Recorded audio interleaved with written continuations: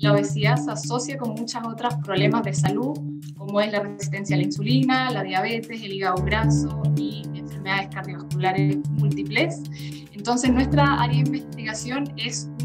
una estrategia alternativa para solucionar este problema, en específico la obesidad, eh, es un área que está bastante nueva, estamos tratando de desarrollarla, entonces somos de los pocos laboratorios que investigamos en humanos el ayuno intermitente, en específico la alimentación en tiempo restringido, como tratamiento para la obesidad.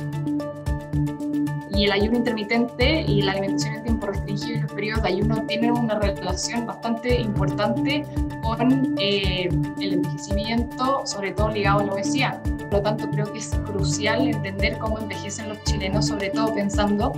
que eh, cada vez más tenemos eh, adultos mayores en Chile y creo que es muy importante entender todos los factores fisiológicos y fisiopatológicos que se relacionan con el envejecimiento en Chile